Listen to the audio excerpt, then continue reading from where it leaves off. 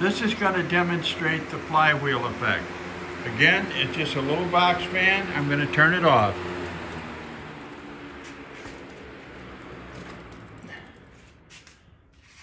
The fan is turned off.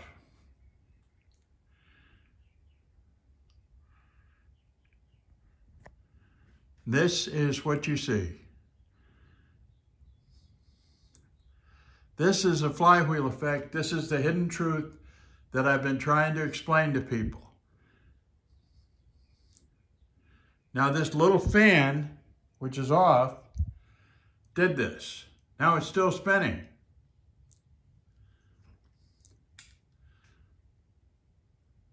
That's because of the flywheel that's because of the stator, the rotor weight.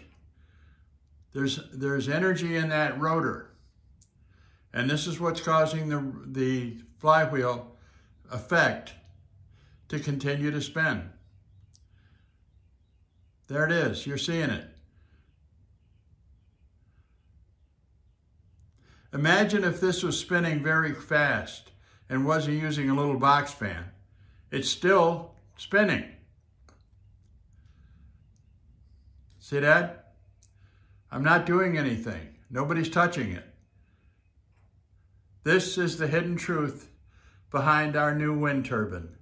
This is the thing that I wanted to develop and I couldn't show it to somebody until I had proven that it works.